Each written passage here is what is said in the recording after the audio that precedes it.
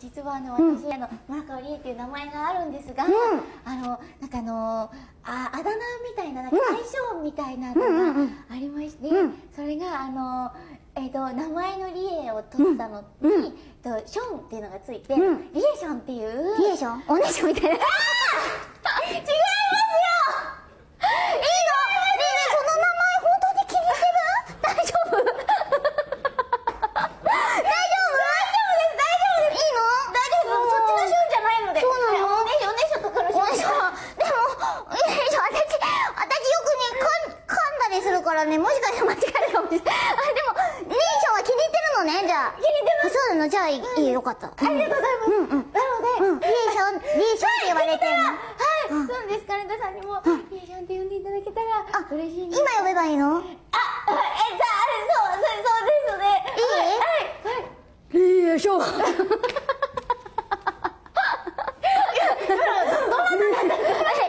泉聖さん。いや、なん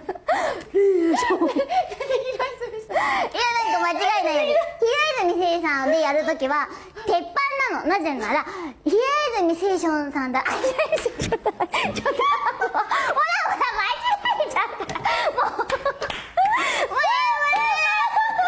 もう、もう、はい。ということで、まあ、以上、もろもろ、あの、村川りえちゃんの、えっ、と、生態調査は、これで終わります最後、ちょっとあれしたけど、はい。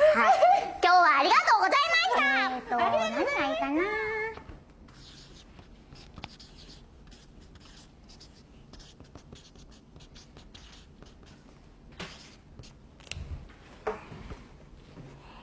村川りえちゃんは、じゃんオネションじゃないのよ、りえちゃんよ。あ、間違えちゃった、間違えちゃった、間違えちゃった。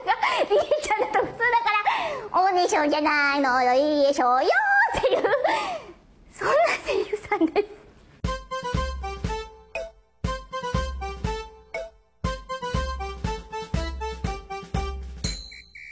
い、オッケーです。リエーションって、何リエーションって、リエーション、え、ちょっとリエション、私にはハードル高いかもな。リ、リチョー、ショーンって。リ、リ、どう頑張っては見るわ。あ、ありがとうございます。嬉しいです。でもちょっと、ねえ、でも気に入ってるからよかったね、あだ名ね。あ、そうですね。ぜひ、リエションって、しょってください。何歳までおねしょしてたの？おねしょおね